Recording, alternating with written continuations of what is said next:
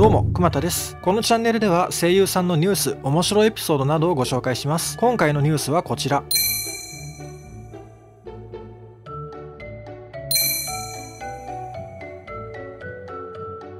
声優さんの宣伝 SNS その他説明欄をご覧ください。それではどうぞ。さて、2月14日はバレンタインでしたね。ところで内田真彩さん、毎年チョコレートを爆買いするらしい。今年1日でチョコに費やした金額はなんと1万5000円。やるな。なぜこんなに買うのか。画家ドゥノワールやゴッホなどの綺麗な絵が描かれたチョコパッケージを見かけると、アクセサリー入れとかにしたくなり買ってしまうらしい。つまりパケ買い。チョコは自分でも食べるけど、全部は食べきれないからいろんな人に配るんだとか。青山吉野さん先日口内炎が同時に5個もできていたそうな。ラジオ金曜日のしじみではパーソナリティの前田香織さんから死なないで大丈夫？情緒。と心配されてました。うん。情緒？ただ左の奥にはできておらずそこだけが唯一のアンチだったとか。前田さん。吉野チョコラ BB だよ。早く治るといいね。いや口内炎つらいですよね。自分は1日3回食後イソジンでうがいして治してました森永製菓よりハイチュウたちがそれぞれ特徴的な食感について語る動画。食感いろいろハイチュウズ。全4話が2月15日より公開されています。面白いのがそれぞれのハイチュウに声を当てているのがガチ豪華声優陣だというところ。エピソード1きっと見つかるあなたの推し食感編。では杉田智勝さん釘宮理恵さん。まるで銀玉の銀時と神楽の掛け合いみたい。釘宮理恵さんのツッコミがキレッキレ。エピソード2あなたはまだ知らない食感の秘密編。では桜彩音さん大塚明夫さん大塚さん演じるる新人ハイチュウにタジタジなさくらさん演じる先輩ハイチュウのやりとりがおもろい。エピソード3君はもう食べた超人気のあの食感編では千葉茂さん坂口大輔さん庄司梅香さん安定の規制を発する千葉さんと軽い感じで煽りまくる坂口さん威厳たっぷりの庄司さん。エピソード4全員集合編ではエピソード1から3までの声優陣が全員集合。一応というか完全にハイチュウの食感宣伝動画なはずなんですけど声優ファンにとっては嬉しいネタをぶっ込んでいたのが最高でした。YouTube 森永生活チャンネル説明欄にリンクを貼っておきます。ぜひご覧くださいまし。新藤天音さん2月16日堀越高等学校を卒業されました。おめでとうございます。昨日堀越高校を卒業しました。全日制の高校に通うことは簡単なことではありませんでした。3年間マネージャーさん関係者の方々たくさんの方に支えていただき卒業することができました。親友トレートコースの仲間と共に過ごした日々は大切な宝物です。本当にお世話になりました。トレートコースというのは旧芸能活動コースのこと。堀越高等学校といえば水木奈々さんや田野あさみさんの出身校でもあります Thank you. 日笠陽子さん、1月20日よりインスタグラムアカウントを開設しています。とはいえ、まだまだ SNS 初心者。ということで、日高里奈さんにゼロから教えてもらうことに、まずストーリーズから教わるんですが、ここで日笠さん、ある疑問にぶち当たります。ストーリーズって24時間で消えるわけで、それって何の意義があるの？甘いな。え、何？哲学？日高さん。そんな、意義とか言っちゃったらやってらんないっすよ。とツッコミ、ハッシュタグについても学びました。なんといっても、日笠さん、初投稿は自分の新しい潜在写真だったんですけど、ハッシュタクがなぜか日高里奈オンリーでした笑うスタッフに対して日笠さん誰だってみんな初心者だろうが最初はほら大丈夫？ちょっとずつ慣れていきましょう自撮りについてもスマホの角度から教わってました2月18日内田裕也さんが突然こんなツイートもう田村睦美を愛せない分かってるよ。彼女は何も悪くないよ。あくまでも彼女が演じている役の話だよ。私の役との関係の話だよ。だけどさ、あまりにもやり方がショックで、坊主憎けりゃ今朝まで憎い状態ですよ、今。分かってます。田村さんは良い人。完全にとばっちり。でも何か出さんと収まらんのさ。こりゃよっぽど悲惨な役だったんかな。昔もう誰も愛さないっていうドラマあったよね。吉田栄作さん主演のやつ。関係ないけど。すると田村さん。そんな、でも私もショックでしたよ。私好きだったんだけどな。とりあえず、何の作品かめっちゃ気になる。その後、ゆうやさん。収録終了。お疲れ様でした。愛せる。放送が楽しみ。と、お二人の楽屋でのツーショット写真とともに投稿。ただこのツイート、ハッシュタグがめっちゃ面白い。田村睦美、愛せる。良い人。何も悪くない。役の話、とばっちり。落ち着きました。ごめんなさい。すみません。内田裕也。と入ってました。何これかわいすぎ。最後にむつみさん。ご安心ください。仲良くしていただいてます。楽しくお話しさせていただきました。放送楽しみです。とのこと。いや、キャスト同士のこういうお茶目なやりとり、声優ファンとしてはたまらんです。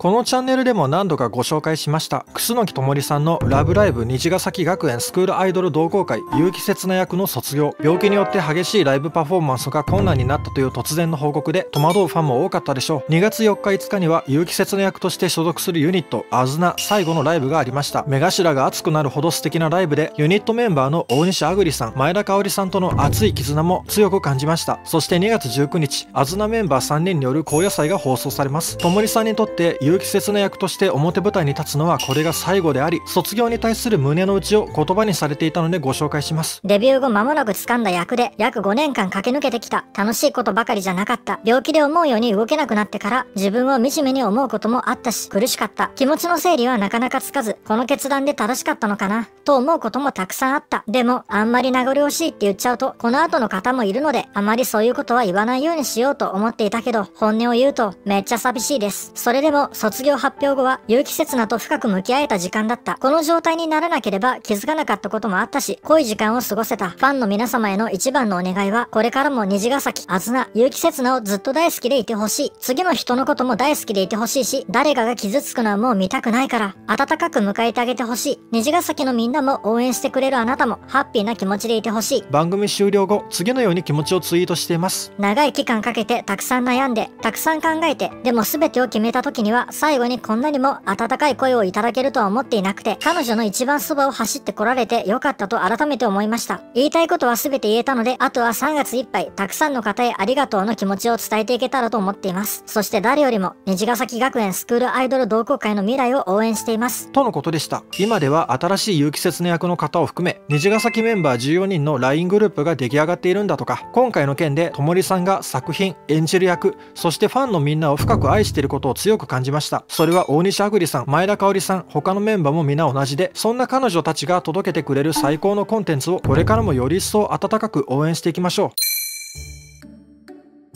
2月20日は中村雄一さんのお誕生日でした。中村さんお年を重ねるごとにかっこよくなるよね。YouTube 番組マフィア梶田と中村雄一のわしゃがな TV では中村さんの生誕祭が執り行われました。こんなに可愛いケーキをプレゼントされます。タンプレを渡されたんですけど面白かったのが黒巻き編集を行っているせいでもらったパンツの緑色の部分が透けてしまいパッと見一番大事なところがガードできてないパンツになってしまったところかな。あとマフィア梶田さんからいかついフィギュアをもらってました。中には腕が脱臼している非常に珍しいものもフィギュアに武器を握らせて無邪気に遊ぶ中村さんかわいすな。ところで番組終了後マフィア梶田さんがこんなツイート。中村さんはクタクタおじさんなのでケーキを忘れていってしまった。おめでたくむさぶり食らってやろうか。なんともお茶目な中村さんでした。ライブ配信された生誕祭動画へのリンクは説明欄に貼っておきます。まだ視聴されてない方はぜひご覧ください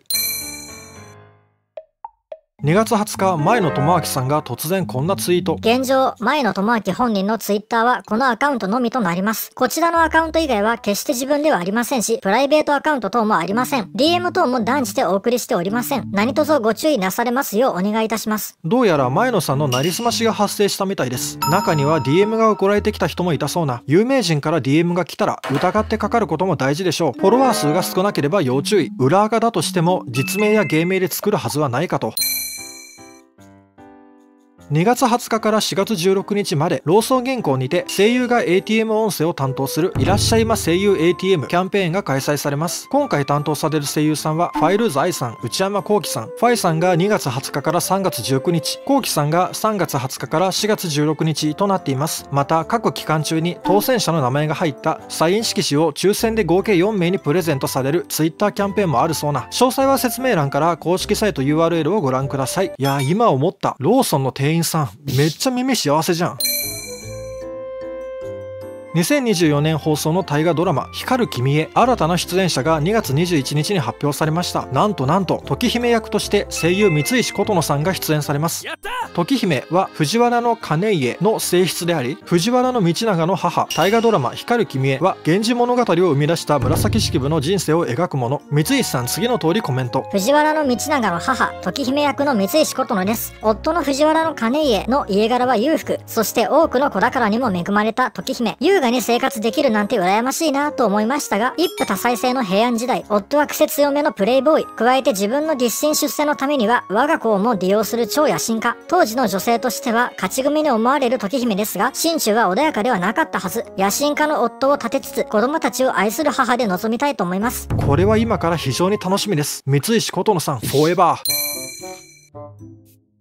2月20日、新田恵美さんがこんなツイート。つい先ほど家の中ですってんころりんしたのですが、100点満点の受け身が取れて、どこも痛くしませんでした。中学の頃、体育の授業で一瞬だけ柔道を選択した自分を褒めたいです。転んで受け身って、凄まじい運動神経だな。皆さん、いつ何があるかわかりません。普段から受け身、大乱闘でいうところの緊急回避の練習をしておくと良いでしょう。なんでやねん。2月21日第17回声優アワードの受賞者が一部発表されました。声優アワードとはその年度に最も印象に残る声優や作品を対象にその業績を称えるもの。厚労省長年にわたり外画も含め多くのジャンルに貢献された声優秋元千佳子さん矢良優作さん富山慶章作品の出演を含め各方面で活躍された声優男性諏訪部純一さん高橋和恵賞。作品の出演を含め各方面で活躍された声優女性川村マリアさんキッズファミリー賞。子供たちの視点で選ばれた声優大谷育恵さん松本里香さん。なお今回は一部の発表で主演声優賞や助演声優賞などその他の受賞者は3月11日の授賞式にて発表されます。山下誠一郎さん大沢事務所に所属する彼は花澤香菜さんの後輩です。そして花澤さんにとって誠一郎さんはどうやら放っておけない系というか心配な弟的な感じとのこと。そう思わせるきっかけとなったお二人のエピソードが先日花澤さんのラジオで語られました。めっちゃ面白かったんでご紹介します。今から10年ほど前のこと。誠一郎さんが事務所に入りたての頃オーディションで花澤さんと一緒になります。帰り道他のキャストさん含めオーディションの話などしながら数人で歩いていた時のこと。駅の近くでじゃあここで解散しよう。と、おのおの別々の方向へ帰ります。花沢さんが、私、じゃあこの辺うろうろしていこうかな。山下くんはどこに行くの？と尋ねると、誠一郎さん、なんて言ったと思います？どこまででも。と答えたそうな。やるじゃない。なんか、どこまでもご一緒してきそうな雰囲気出してたっぽいです。花沢さん。この子めっちゃついてこようとする。とか思ったそうな。とはいえ、誠一郎さん、何がいけないんだろうという顔をしていたとのこと。可愛すぎ。それから数年後、また現場で一緒になった帰り道。花沢さん。ここから私駅行くけど、山下くん次は？と尋ねます。なんて言ったと思います？僕、あの、次はないんで、どこまででも。やっぱりかい。